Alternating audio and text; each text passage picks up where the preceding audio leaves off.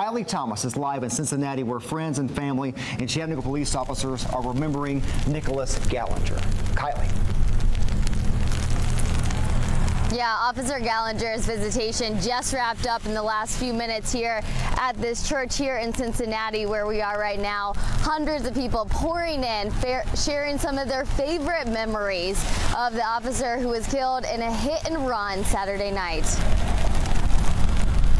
Cincinnati dressed itself in blue, both in decorations. Losing Nick has been the hardest thing I've ever done. And mood. And it's like we're only halfway there. Doug Galinger is embracing his family for the first time since that initial call, especially his brother's kids. When I look at Ethan, I see Nicholas. Yeah. When I look at Haley, I see Nicholas. Yeah. And it's tough.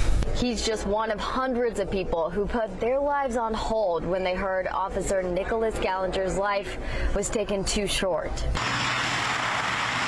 It started with sirens Saturday night. Police say Janet Hinds was speeding along Hamill Road when she hit a construction sign and then Officer Galinger. According to police, Hinds drove off, leaving the 38 year old officer on the side of the road. The Chattanooga Police Department searched nearly two days for Hinds. They linked damaged parts of the car left behind to her Honda CRV. On Monday, she turned herself in to Chattanooga's police headquarters. She's facing nine charges for the death of Officer Galinger. While his family faces a trip they never imagined they'd take. Our little grandbabies are going to come up and say, Grandpa, why? How did this happen? Driving to Officer Galinger's hometown of Cincinnati to where it all started. I got the pleasure of seeing Nick grow. Mm -hmm. Like the Chattanooga Police Department took Nicholas and made him a man. But today, Doug and his family are faced with how his life ended. Officer Galinger's funeral will be tomorrow inside this church starting at 11 o'clock in the morning. His brother and dad are both set to speak. Um, also, a local pastor will also be delivering the message as well as Chief Roddy will be giving the eulogy. We're, of course, going to be inside there and bring you live coverage. You can watch it at NewsChannel9.com. Reporting live in Cincinnati, Ohio, I'm Kylie Thomas, News Channel 9. Kylie, thank you. Many agencies went to social media to pay tribute and honor Nicholas Galinger. While driving through Lexington, Kentucky, Lexington police officers were spotted on a bridge over the interstate paying their respects. Officer Galinger's family is getting more support from those who served alongside him. Aaron Farrar was there as CPD officers left for Cincinnati this morning to honor their fallen brother.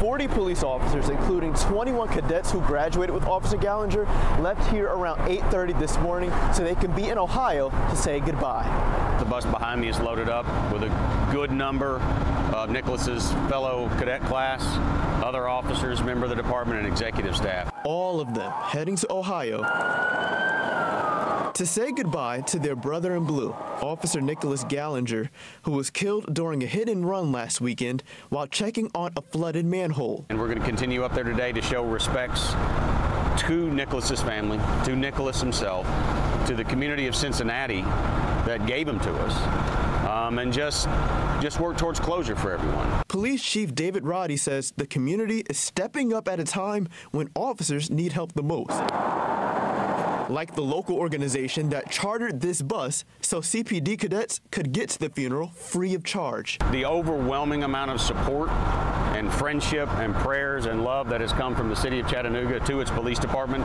has been nothing short of amazing. Thankful that the same people Officer Galinger protected for only a month are now serving and supporting Chattanooga police officers. As their chief, I thank every single member of this community that has shown support for its police officers. It's truly appreciated and um, it does not go at all unnoticed.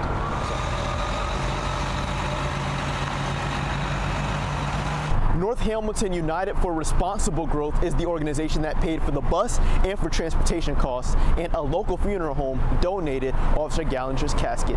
Reporting outside of the Police Services Center, I'm Aaron Farrar, News Channel 9.